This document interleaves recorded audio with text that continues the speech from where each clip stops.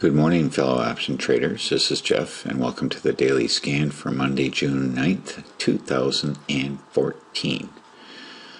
Well, it's going to be a quiet day from a news, scheduled news events perspective. Nothing has a red or a gold star here. Friday's announcements, I won't show them, but they were, they were, uh, kind of as expected. They were in line, I guess you could say. Unemployment uh, remained the same as the prior month overall. That uh, what I consider a relatively bogus number.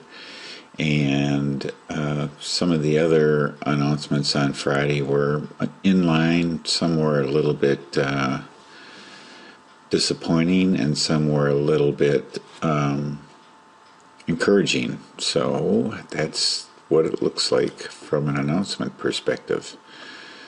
Let's take a look at what's going on across the ponds on either side of us. Over in Asia, nice pop for the day.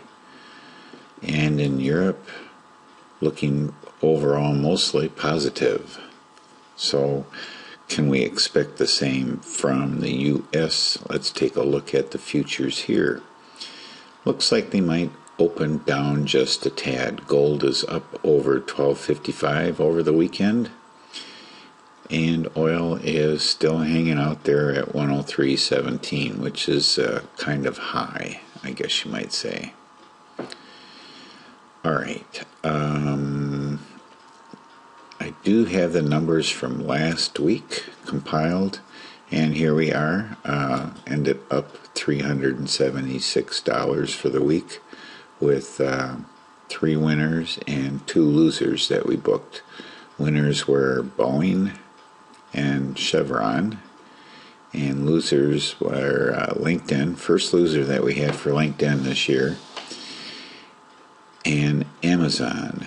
And a big, nice, juicy winner here from Apple as we waited till towards the end of the day uh, exiting that. It was a nail biter which we can t- take a look at when we go through the A plus list, but at least um, it hung in there for us. And then, you know, you can't look at anything now because of their split.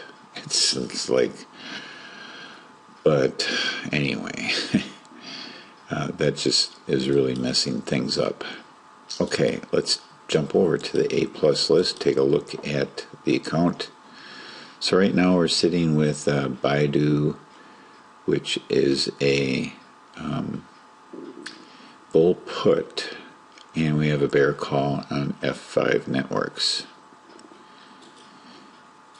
All right, uh, let's jump over to take a look at Apple this morning. I haven't looked at a chart yet from them. Uh, okay, they've corrected all the previous prices. That's good. We're going to have to get rid of all drawings now because um, uh, because we're not going to see a lot of them. So we're just going to get rid of them all. Okay, so delete. I have to actually click on a drawing. Delete all drawings. Okay, so now we're starting completely over with Apple. You can see the price action here. Our um, our short strike was right down around here, I believe maybe at this 92 equivalent to this 92 and uh, it was a little bit of a nail biter but i got out about here at 2.30 3 o'clock somewhere around there closed it out and uh, hung, on, hung in there on that one. So now I had talked in the past about possibly dropping Apple from my A plus list, but how could anybody in their right mind ever really do that? I can't. So we're uh, it's remaining on here. It's just too liquid to not keep it on here. So now we're waiting for a entry opportunity here with our target set for a bull put. The split is over. Let's get down to business. All right, let's take a peek at Amazon. And this hurt us last week. I believe that we are in a new uptrend, and the uh, the 20 EMA has been up pretty consistently over the last couple of weeks. So we're calling this an uptrend. So we have a new target down here. We're waiting for that one to come down and give us an entry. I have to tell you, uh, as an aside here, that uh, I know it's going to be one of those days when, uh, before I started recording, I picked up the microphone and tried to drink it. I thought it was my coffee.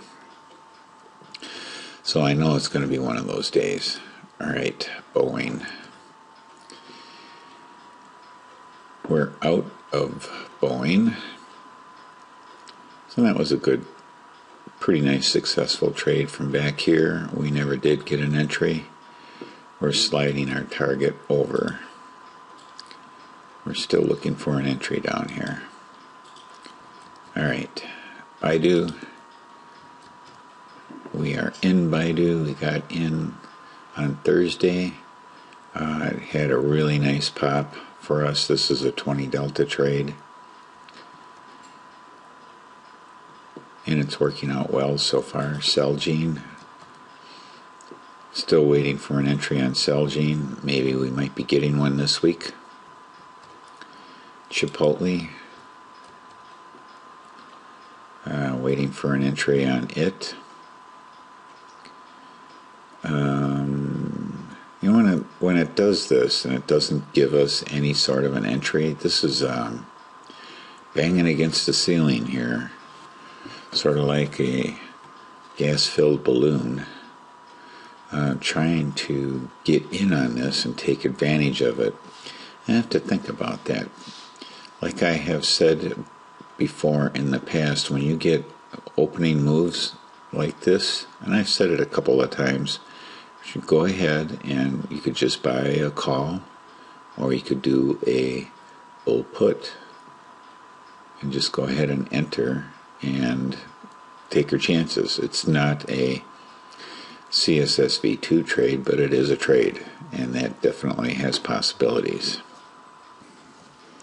And the way that I would do this is with, you know, just flip a coin, is jump in with a 50 delta, and uh, take your chances. It might work out. Who knows? Costco. All right, Costco is making some very nice moves. It finally broke out of its doldrums here. Um, you know, and generally overall, everything that I'm seeing right now is that you know everybody's pretty euphoric. Um, you know, the word is that the unemployment level is down to pre-crisis levels, and you know the gravy train is here and happy days are here again and all that kind of stuff. So, you know, this may last for a little while, but always historically, when everybody gets overconfident, the rug gets pulled out from underneath you. So be aware of that and be ready for it. But for right now, jump on the gravy train. So Costco may be the same thing you know, or you might want to just jump in on a trade. And it's not, you know, using the system, but in a way here, the system is telling you that it's hot. It's definitely hot. So you might want to take advantage of it. And I would say the same thing, you know, if things reverse and head in the other direction, could be the same thing. I mean, there's there is plenty of opportunities here to do a similar thing. Costco tends to make some pretty consistent moves. Sorry about that if I was making you dizzy. I was making myself dizzy. Um, but yes, that has possibilities as well. So this might be a AM trade and a PM exit if it's successful. Might try that today. CVX.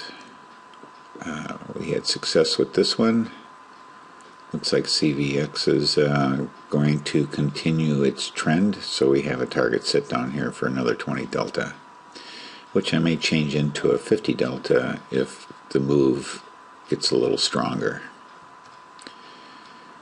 DJX, I changed this over uh, using the actual cash one tenth index. I think that's what it is. And uh, we have a new high. So this is tradable also, although I don't really like the offerings on the options because there's only the one week weeklies. They don't have multiple week weeklies. And look at this. Take a look. Open interest. Two? Are you kidding me? So I would not trade options on this. Possibly on regular monthly expiration, that has some possibilities because there seems to be a fair amount there, but I don't know why there's not enough people trading this. I really don't understand. So we're just going to stay away from it. But we will use it as a reference.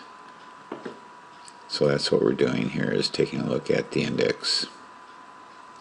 New high. All right, Igor. Um, we got a new high here. Same thing. Uh, it's making a very powerful run. Anytime the stochastic on these stays above the 80 line, you know, for a couple of days, maybe three days, four days, it's in a power run. So this might be another one, although I'm not going to, I'm not interested in this particular one just because of volume, liquidity. Let's take a look at FedEx. FedEx uh, is trying its darndest to set up, and it still isn't a setup. We'll have to be careful about this earnings date coming up, though. We have to keep that in mind. But we have green here, but we don't have confirmation. So we're still in a setup until we get this confirmation. Then it will be alertable if we don't get in on the setup. I believe this is like the third day in a row. This has been in our setup column. All right, how's F good old F5 doing? F5, uh, we have this. Uh, I'm getting a little nervous on F5 here. A little nervous. That was uh, not a very bright trade here, Mr. Guru. I think I'm going to have to exit that today. All right. Yeah, I'll be getting out of that today. Gold? Gold. Let's see here. What do we got going? Uh, it's in a setup for a 20 delta. I don't feel real strongly about this. I don't know if there's any uh, additional downside to it. You can see it's going to pop up. It's going to open up, gap up slightly, um, at least at the present time.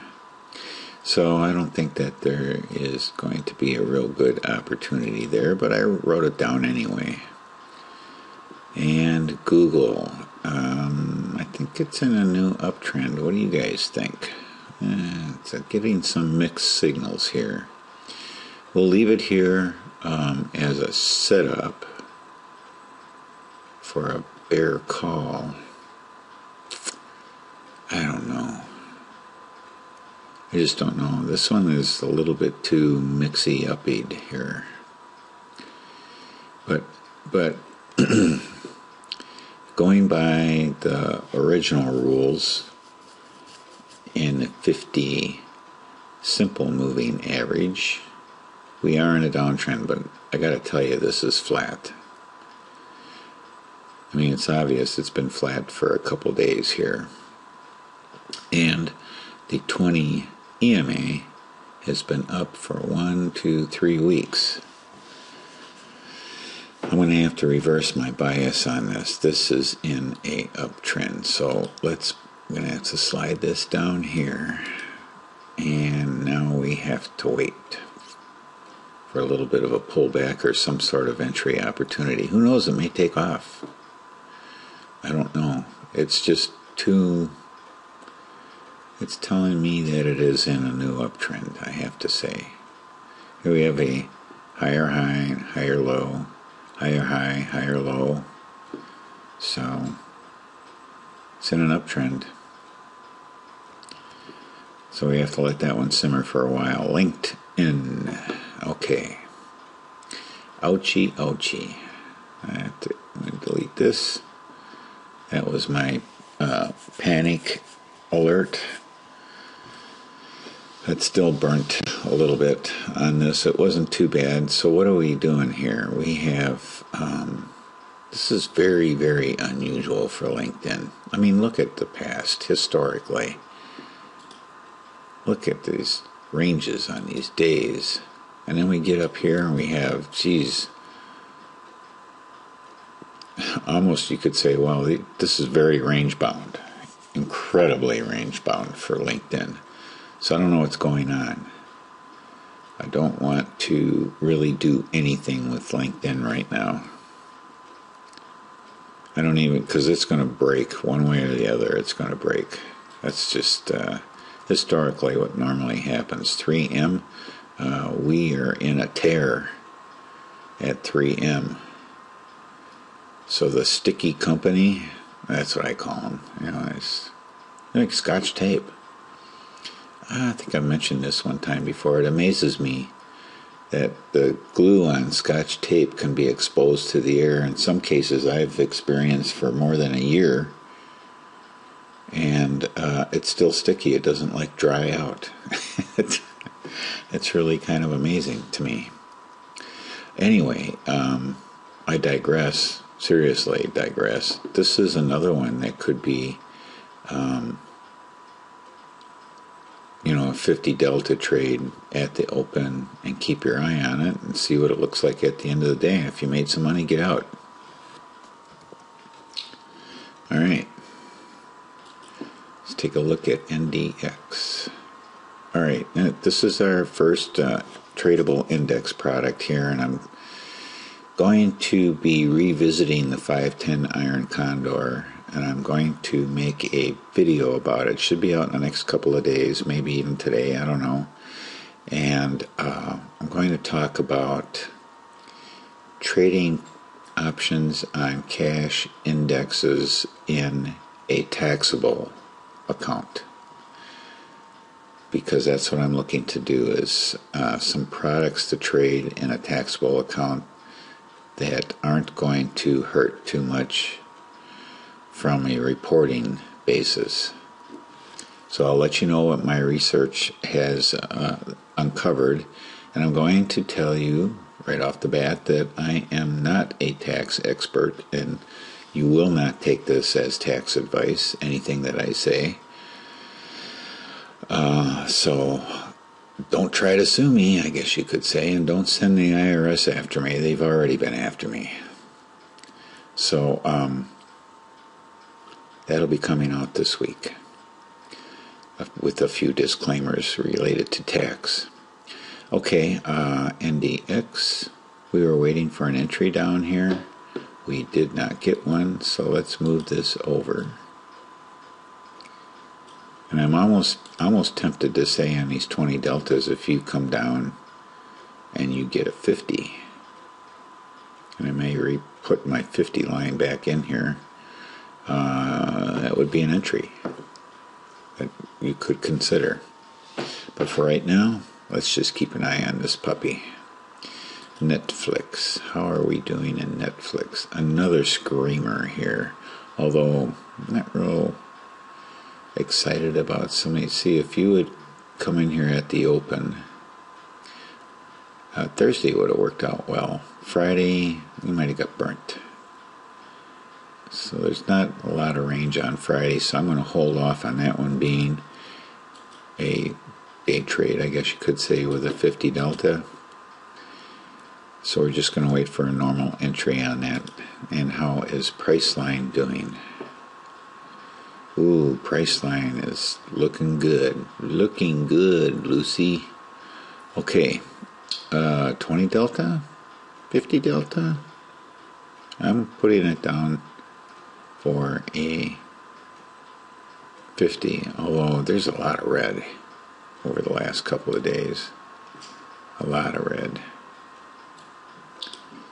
Uh, yeah. A lot of momentum to the downside, too. We're actually almost at 20 here. 14, almost 15. That's pretty heavy.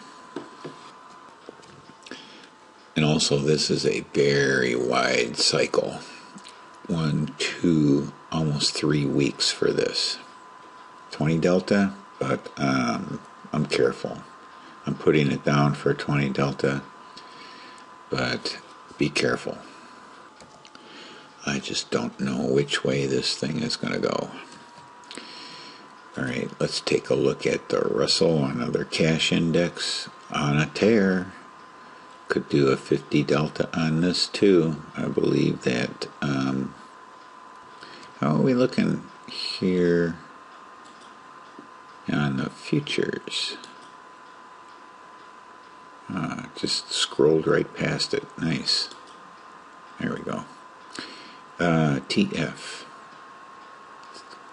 Looks like it might open down a tad this morning. Okay.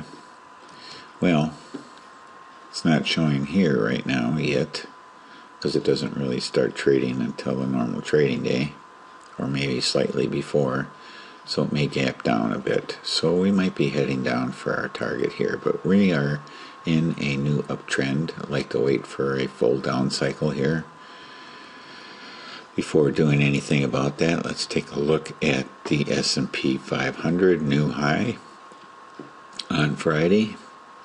Um, still waiting for it to hit our target, but as with uh, some of the other day trade 50 deltas that I was talking about, uh, this could be one, but probably not today because it looks like it's going to gap down at the open a tad. But it may, you know, move up. Who knows?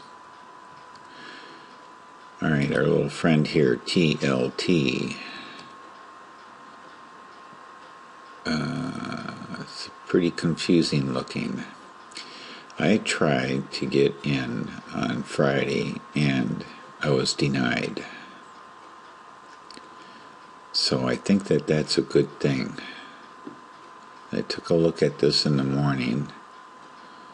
I put an order in and it just kept moving away so I canceled my order. Or at least I had an order staged, as you can see here. Um, and I took a pass on it. So these are all out. Not interested in TLT at the moment. We'll have to see what it does today. I'm putting it in my setup column for a 20 delta for today just because I want to take a look at it. And if we get a move up, then I might jump in on it. We're getting down to the end here. Tesla. Uh, it's a little bit confusing here. Do we have an uptrend or do we have a downtrend? Staying away from it. Taking this marker out.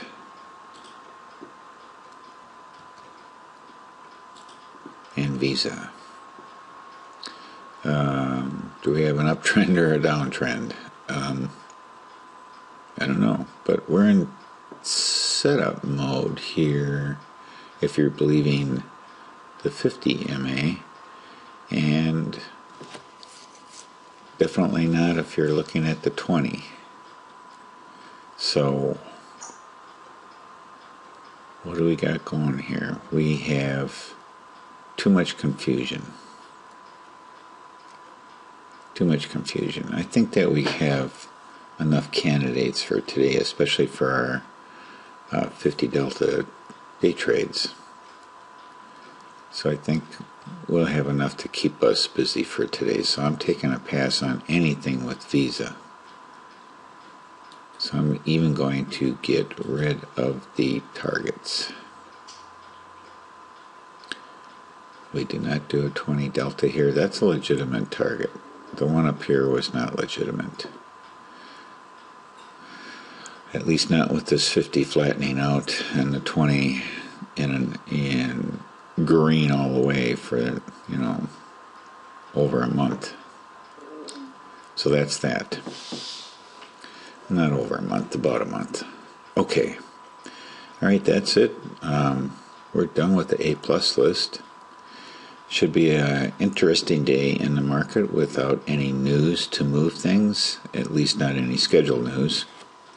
We have a lot of uh, 20 deltas, and we have uh, Chipotle, Costco, and 3M as possible 50 delta day trades. So, should keep us busy for today. All right, that's it. Thanks a heap for watching. Have a great day and happy trading.